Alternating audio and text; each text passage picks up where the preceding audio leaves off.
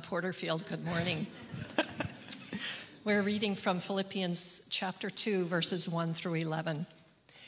Therefore, if you have any encouragement from being united with Christ, if any comfort from his love, if any common sharing in the Spirit, if any tenderness and compassion, then make my joy complete by being like minded, having the same love, being one in spirit and of one mind. Do nothing out of selfish ambition or vain conceit. Rather, in humility, value others above yourselves, not looking to your own interests, but each of you to the interests of the others. In your relationships with one another, have the same mindset as Christ Jesus, who, being in the very nature God, did not consider equality with God something to be used to his own advantage. Rather, he made himself nothing by taking the very nature of a servant, being made in human likeness. And being found in appearance as a man, he humbled himself by becoming obedient to death, even death on a cross.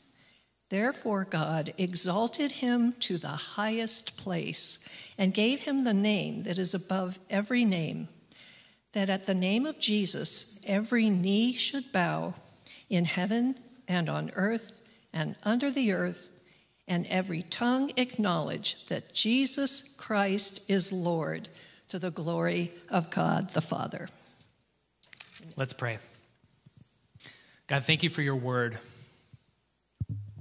Pray that we would hear it this morning uh, but that we wouldn't just hear it, but that it would take root in each and every one of us, and that as we go from here, that we would be able to be doers of your word, that we would be able to live out this call and this challenge that Paul is giving before us. So speak to us this morning, Lord. Amen. Go ahead and grab a seat.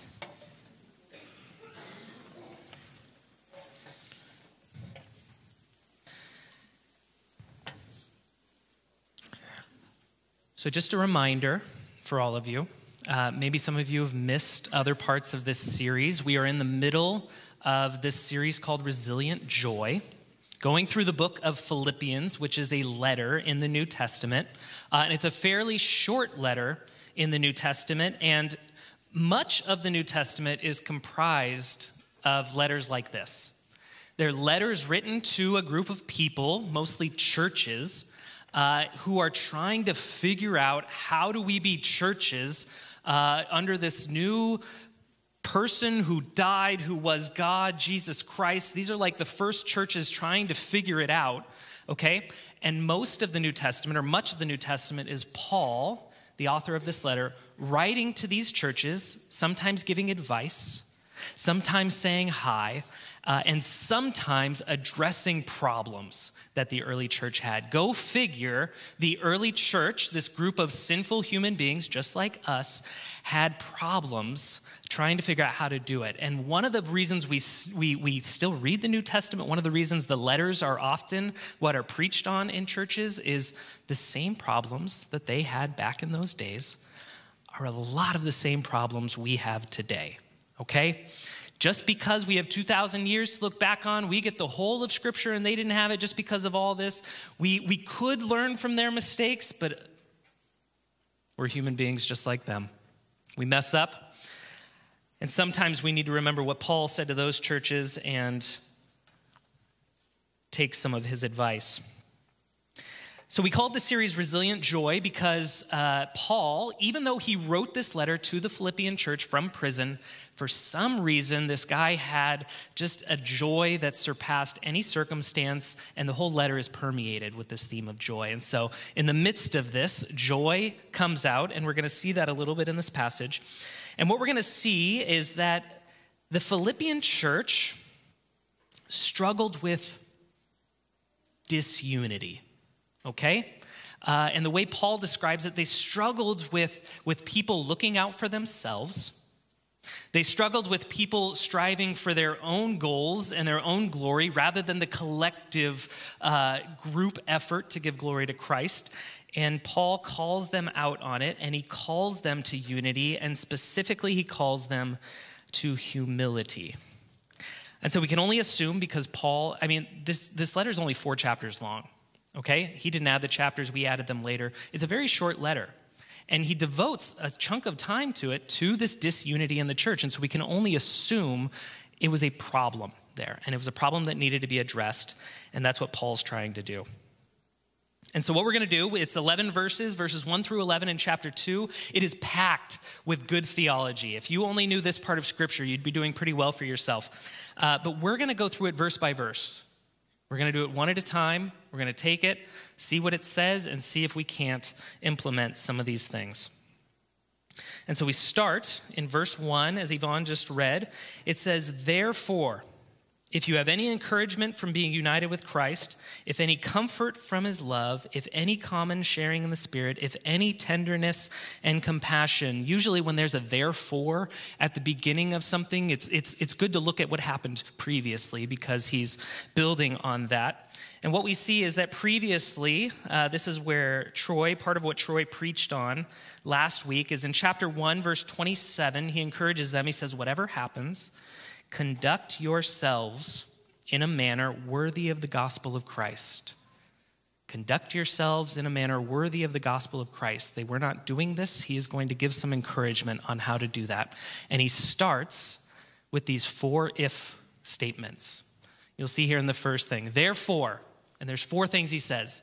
If you have any encouragement from being united with Christ, okay? You're united with Christ. If this encourages you, if this is what spurs you on, if you have any comfort from his love, if you have any common sharing in the Spirit, if you have any tenderness and compassion, nobody's going to say no to these ifs, okay? They are at church, they are striving to follow Jesus. I would hope we have these things. We would say, I am encouraged by being united with Christ. I do have comfort in his love. I have a common sharing in the Spirit. I have tenderness and compassion. And he is a good, uh, he uses the thing, the next statement or the next verse goes then. My if statement, if you have these things, if you are these things, then verse 2 Make my joy complete by being like minded, having the same love, being one in spirit, and of one mind. If you have these things, if these are the things that mark you as believers, then, like a proud parent, make my joy complete by being united. Okay? Make my joy complete by being like minded. That's not saying we all agree on everything, but being like minded in what the goal is having the same love, being one spirit and one mind. If you have these things, be like this, not like this. Verses 3 and 4. Do nothing out of selfish ambition or vain conceit. Rather, in humility, value others above yourselves not looking to your own interests, but each of you to the interests of others. If you have these things, you should be united. Be united. Do not be these things. Do not uh, be selfish. Do not be conceited. Do not value yourself above others. Do not look to your interests above interests of others. You see, Paul tells them you should be united. Do not be these things which would encourage disunity, okay? A group of a bunch of selfish people trying to do their own thing, looking out for themselves. That is not what he wants the early church to be, okay? Pretty straightforward so far, all right? If you have these things, if you're encouraged by Christ, all right, be united. Don't be selfish, all right? Pretty simple. Uh, and one of the things that marks his call for them not to be selfish is this call for humility. The first time I heard the word humble was from a, I watched the movie from a book. Uh, any of you remember Charlotte's Web? Charlotte's Web. It's they, they it was an old they, it was a book, but then they made an animated movie, which is what I watched, and then they also did they did I think they did a in-person remake or like a live version of it, which they do to every movie nowadays. And in this book, or in this movie, there is this relationship between a pig and a spider, and the spider's name is Charlotte. And what Charlotte does is she writes things in her web. okay? She writes things in her web that describe this pig. And people read it and they go, wow, look, I mean, this pig is these things. And one of the words she writes is humble. And me being a five or six year old watching this movie, I had no clue what that meant. I had no idea why being a humble pig was a good thing, why people saw this and they thought it was good. And so, just in case, not to, not to leave any of you out, in case you are like me and didn't know what humble meant, let's have a common definition for humility that we can operate on. Uh, I'm stealing this from a book by a guy named John Dickson, uh, who wrote a book called Humilitas, which is a fancy way of just saying humility. Uh, and so he said, he, he phrased it like this Humility is the noble choice to forego your status, okay? To set aside your status, deploy your resources, or use your influence for the good of others before yourself. The noble choice to forego your status, deploy your resources, or use your influence for the good of others before yourself. I'm saying this at the beginning because sometimes we, we mistake humility for like a false, like, oh, no, no, I'm not that good. Like it's this it, it, false modesty. Okay? That's not humility. Okay? And that's not the humility Paul's calling them to. That's not the humility that I believe we'll see in the example of Jesus. And so Paul is telling them, again, just to recap, verses 1, 2, 3, and 4 if you are united in Christ, if you share this common understanding, you should be united. You should be like minded. You should have the same love. And you should not be pursuing selfish ambition. You should not be desiring personal prestige. And you should not be concentrating on yourself. Whereas being of one mind, being having the same love uh, and the same spirit, those encourage unity. These things again encourage disunity. Okay? Be like this, not like this. And so then Paul is going to keep going in this passage and expand on this. Okay? What does this look like? All right? Thank you, Paul. Be humble. Got it. What does this look like in real life? And what he does is he points to the example of Jesus Christ on what this, this, this life marked by humility, what this life marked by not selfish ambition, but pursuing the, the ambitions and the goals and the purposes of God, what does that look like? And so he starts that in verse 5. He says, In your relationships with one another, have the same mindset as Jesus Christ. He's going to tell them, what does it look like to be humble? What does it look like to be united? How do you live this out? Imitate Jesus. End of sermon. Go home, be like Jesus. And then he goes on to expand in verses 6 through 11. Now, I said this before verses 6 through 11 form a part of Scripture that I, I think are so rich that if you read them quickly, you will miss what Paul is actually saying. Many believe that verses 6 through 11 actually were a, a hymn or a song that would have been sung in those days. This is something that the early church latched onto. We are going to sing this together.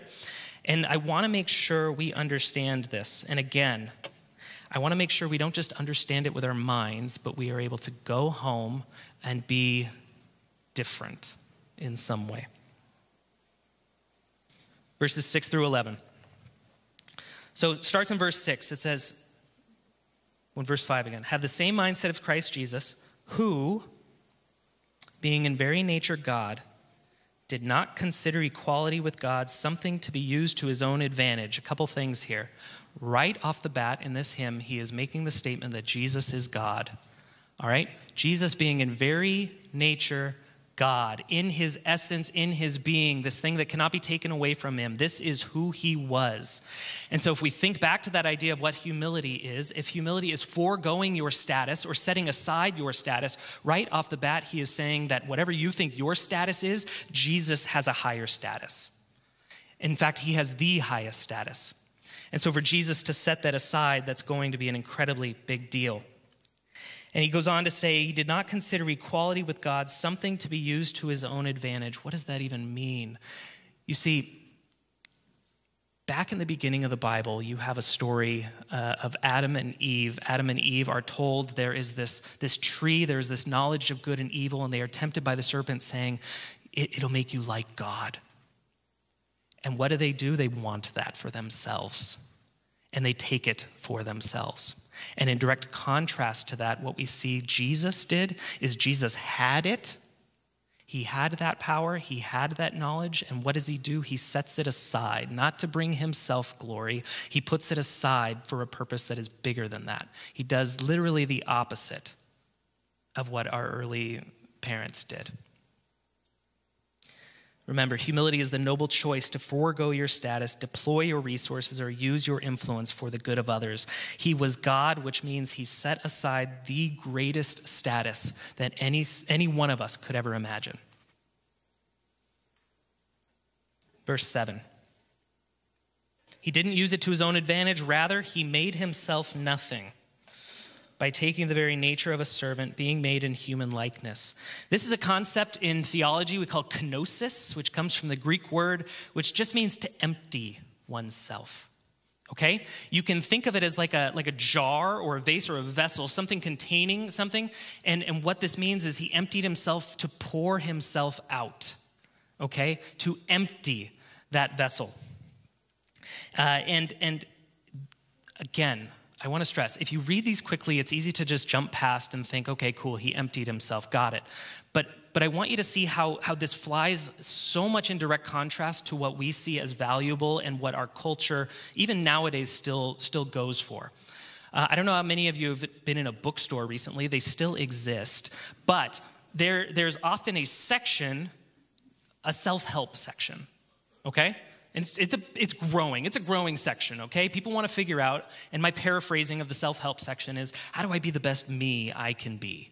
Okay? How do you live out your true purpose and be the best for me, DJ, that I can be?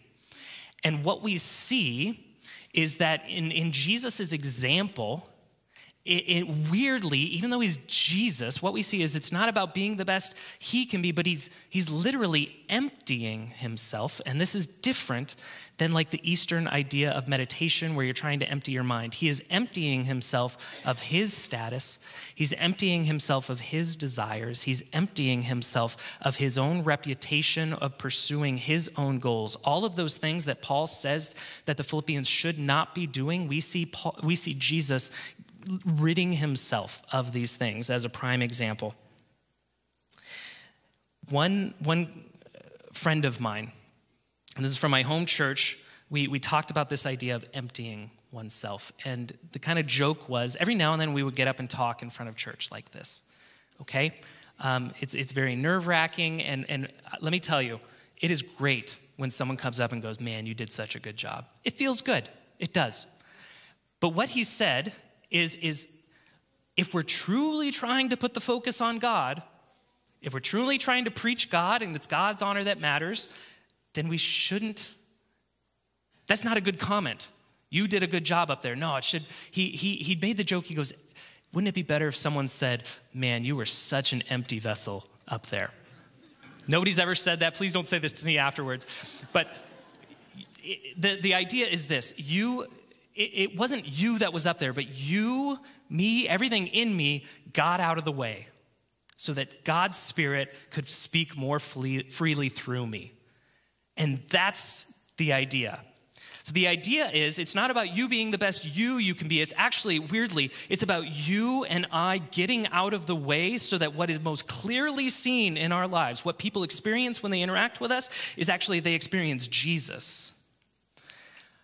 What we're going to see is verses 10, uh, 9, 10, and 11, the goal of the Christian life, the, the entire end purpose of our being. And I've said this so many times before in other sermons. The entire goal is to bring glory and honor to God. And in many sense, we, any, any focus we take off of that uh, hinders that goal. And we are to operate almost like a reflection. When people see us, they're reflected directly to God rather than ourselves. And so, what we see here again in verse 7, he made himself nothing, taking the very nature of a servant, being made in human likeness. Jesus emptied himself.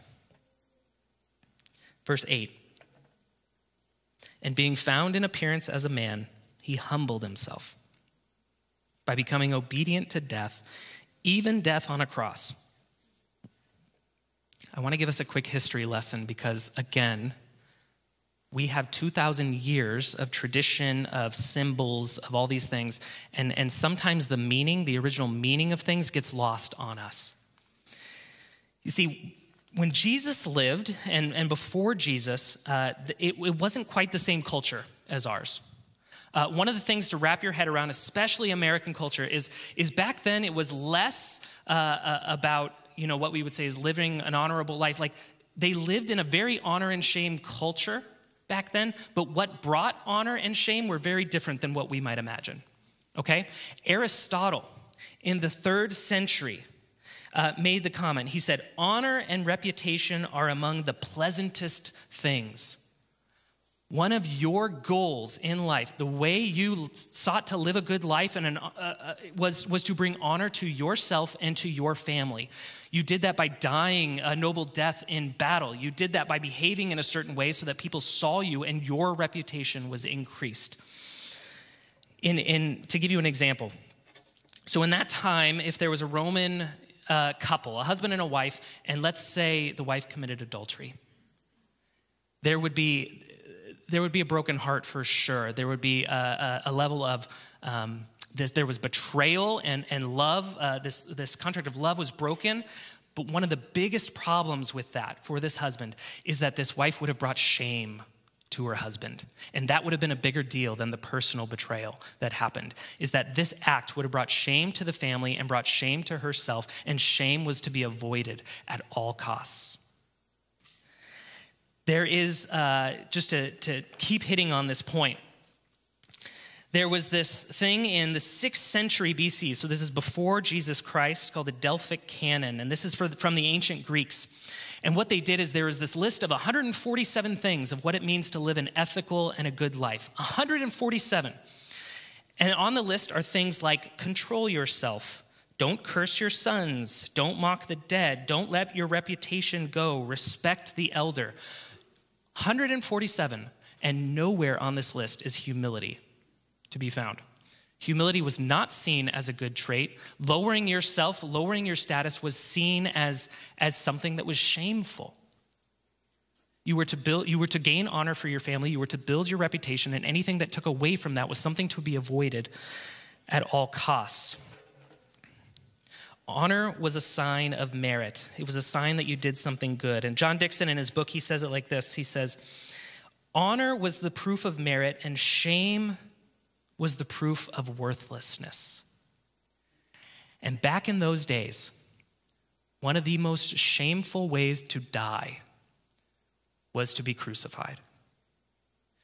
They, they had three forms of capital punishment. You were crucified, you were beheaded, or you were burned alive. And crucifixion was seen to be as the most shameful and the most brutal of those deaths. And so you have Jesus come along, who is, as we said, the highest status in the, you know, that we could ever even think of, and it's higher than you can even think. And what we see is not only did he lower himself to the status of a human being and a servant, but he died the most shameful death imaginable at the time. And for many people, the fact that he died this shameful death was proof that he could not be God.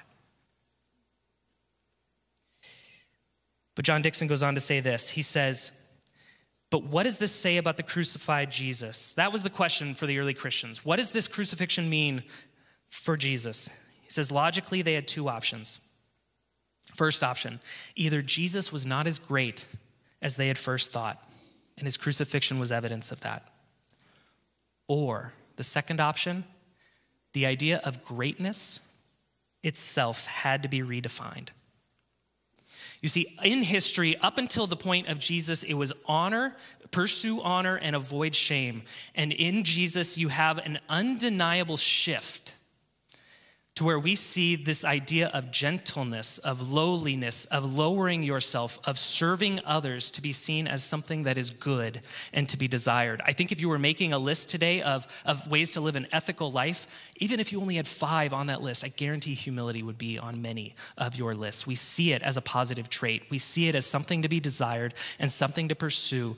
And, and what I'm trying to tell you is that by them singing this, the fact that they were singing God and cross in the same song would have been unheard of, totally bizarre, does not make any sense at all. And because for us, we see, we see Jesus hanging on the cross. We talk about it all the time. Um, you, people wear crosses around their neck. Um, we have totally changed the meaning of the cross and crucifixion and adjusted it. And so when we read something like this, if we don't understand what it was like back in those days, we can miss the significance of Jesus' death on the cross. John Dickson keeps going to say this regarding Jesus' crucifixion. He says, Honor has been redefined Greatness has been recast. If the greatest man we have ever known chose to forego his status for the good of others, then greatness must consist in humble service. The shameful place is now a place of honor, the low point is now a high point. And what does God do as Jesus goes from the highest place to the lowest place, it says, therefore, in verse 9, God exalted him to the highest place and gave him the name that is above every name. Weirdly, in the kingdom economy of things, up seems to be down.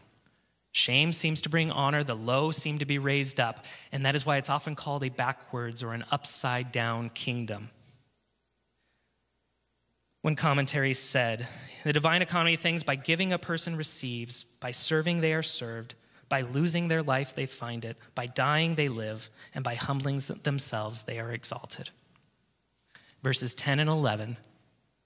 Why? What is the purpose for all this? That at the name of Jesus every knee should bow, in heaven and on earth and under the earth, and every tongue acknowledge that Jesus Christ is Lord to the glory of God the Father.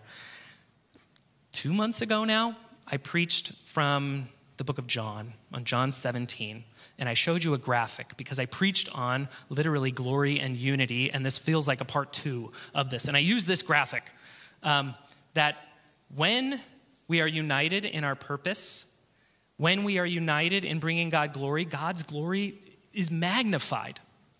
And when God's glory is magnified among the people, we are again more and more united. It is, it is the cyclical thing that if the church is behaving with one mind, as Paul says, and one spirit, with one mission, and they are encouraged by Christ's love, then unity will only increase. And if unity increases, then the ultimate purpose again of bringing God the glory, not to ourselves, but focus on God, is also increased.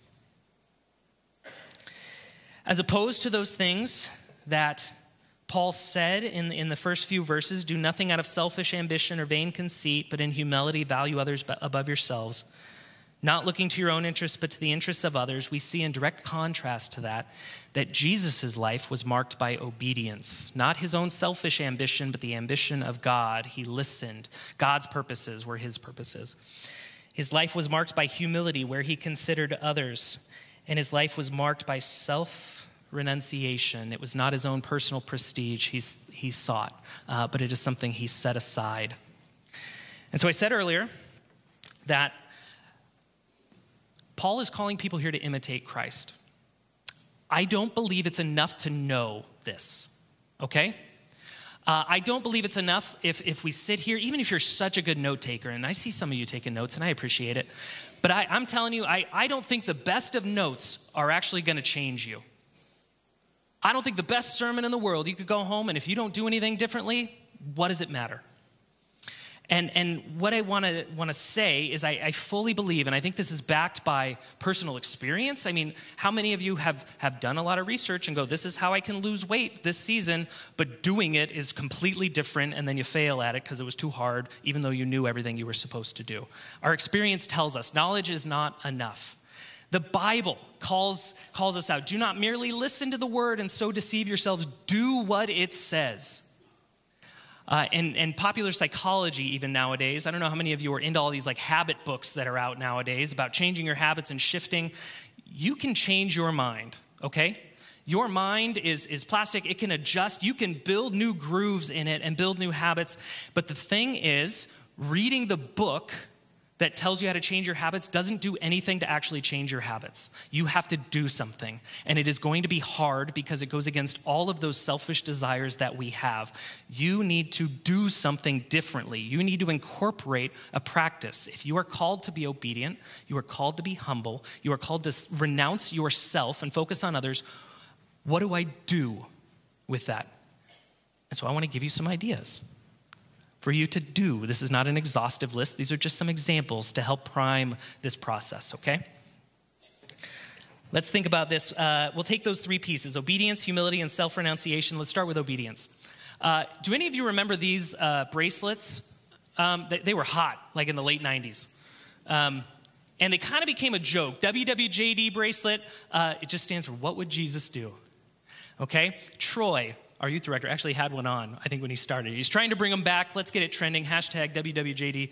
Um, the idea of this, though, is that you would go about your day uh, and, and when you encounter situations, when you encounter a friend, when you encounter a tough circumstance, when you, when you go about your life, this bracelet was to serve as a reminder that when I am, in, when I am responding, when I am doing something, what would Jesus do in this situation? How in this interaction can I imitate Jesus? Do I respond with, with, with impatience and anger, or do I respond with love and compassion? Do I respond by overpowering this person, or do I humble myself and lower myself? What would Jesus do in this situation? You're going to go, that sounds so dumb, and I'm not going to do that. That wouldn't actually change everything. And I'm telling you, in these books that talk about changing your habits, changing the way you think, it starts by often just asking a different question. What if it's not about me in this situation, how I can look good, but what would Jesus do? Would he, would he bring honor and glory to himself? Probably not. He would probably give it to the other person. Another example. This is an idea of humility. Now, this remember, this idea of humility is lowering yourself, of thinking others before yourself, of foregoing your status. And, and the example I want to give is an easy one. Uh, and it just has to do with, with your interactions with other people, okay? How you have conversations. I, I, I think before we go about thinking we're going to be martyrs of the church, you know, and sacrifice everything, let's start with how we talk with one another. Let's do baby steps here. Uh, and I'm going to use my wife uh, and actually my sister in law as an example here. Um, I, here's a confession too. In conversations with people, sometimes I'm just waiting for them to finish, to finish talking. I've done it. Or sometimes I, am not really listening, I'm just planning out what I'm going to say uh, so that I can sound interesting so that other people can leave the conversation going, man, he knows a lot of stuff. That guy's really, yeah, what, a, what an awesome dude. Nobody's ever left a conversation thinking that. But sometimes in conversations, what I'm thinking, without even realizing it, is I'm thinking about myself. I'm thinking about how I come off to the other person. I'm thinking about what I'm going to say. I'm thinking about how interesting I sound. And again, she's not, she's sick today. And so she's not here, so she'd be hanging her head, not looking at me right now. My wife, Sam, she's a therapist because she was good at this, okay? People in line at like stores would start telling them, start telling her their life story. Uh, they, they, would. They would open up to her in ways that people have never opened up to me. And, and she would do this thing almost like to a fault where she would just keep asking questions. She would keep asking follow up questions. Tell me more. That's interesting. What about this? And, and they just talk and talk and talk and talk. And, and I'd have to like break her away from some of these conversations. My sister in law does the same thing. You could be talking about the dullest subject in the world. And I, I did this because I tutored her in math one time. And, and she would look at me and go, Man, this is so interesting. You are so good at, at, at describing these. Tell me more about this. And I'm like, Yeah, I am good at saying these things. I'm such a good teacher.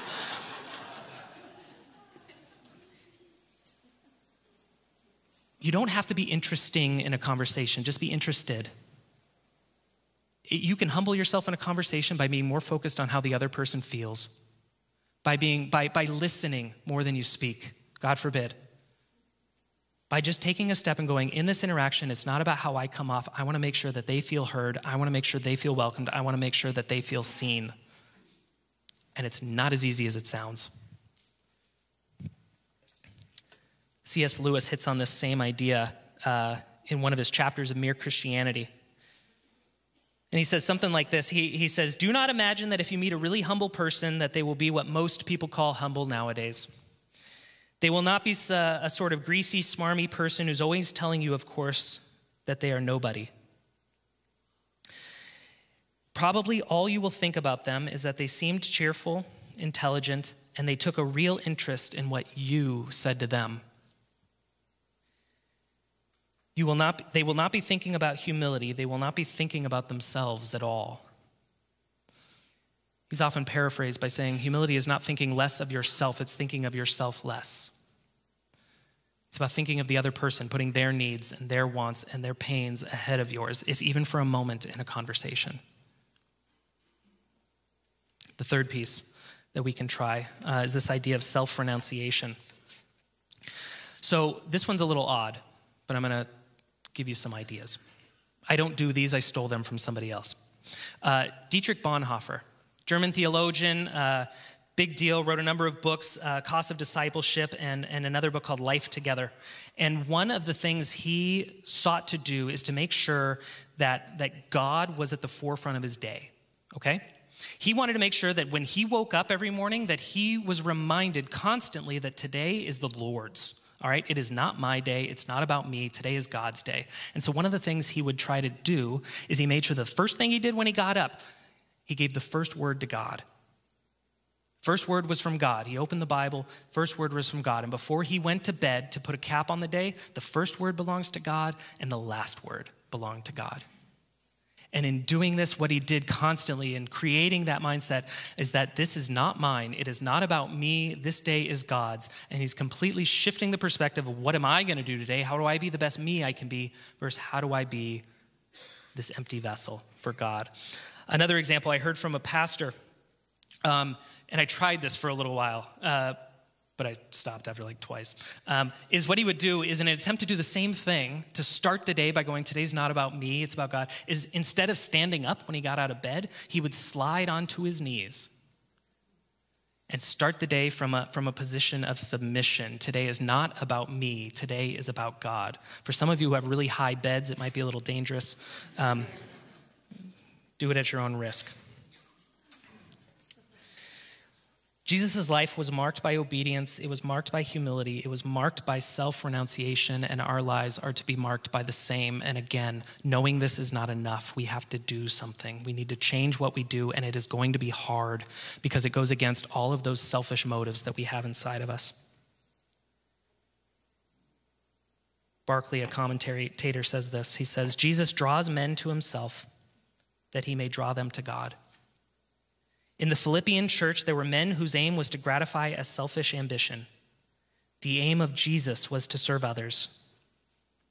In the Philippian church, there were those whose aim was to focus men's eyes on themselves.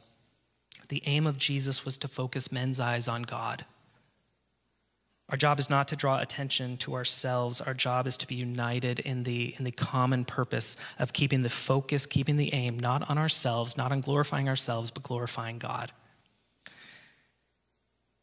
9, 10, and 11. Therefore, God exalted him to the highest place and gave him the name that is above every name.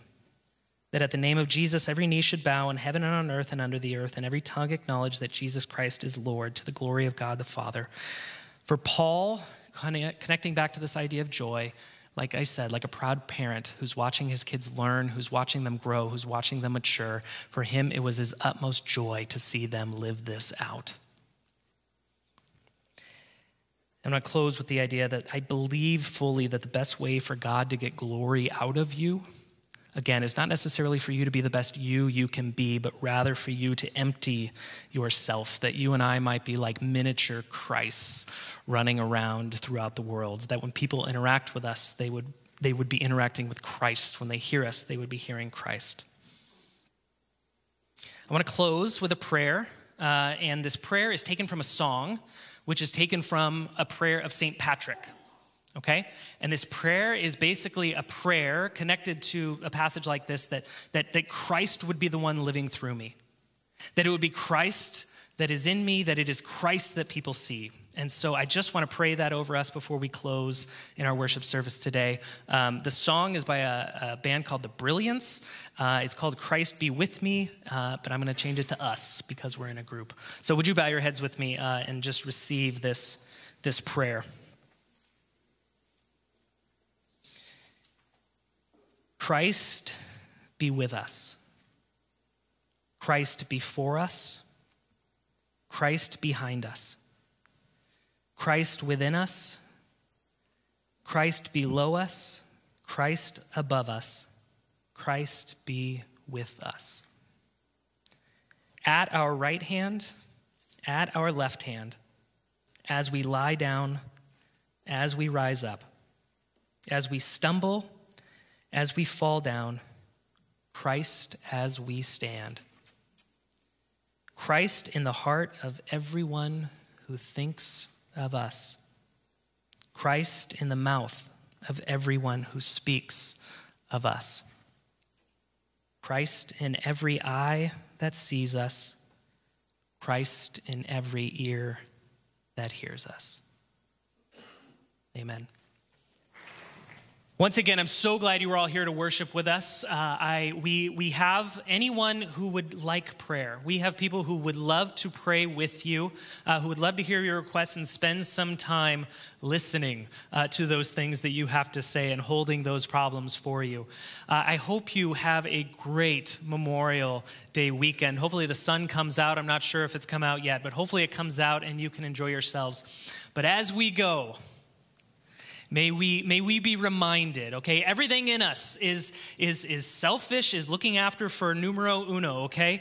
Everything within us is doing this. It is hard to set aside our status. It is hard to do this. It is hard to imitate Jesus. The idea is simple, but it is difficult. And so, my hope and my prayer for each and every one of you is that we would all take baby steps okay? That each and every day we would take action, that we would be doing something that, that, that, that shapes us and draws us more and more into the image of Christ. That when people see us, when people interact with us, that they would be interacting with Jesus Christ. May each and every one of us get out of the way.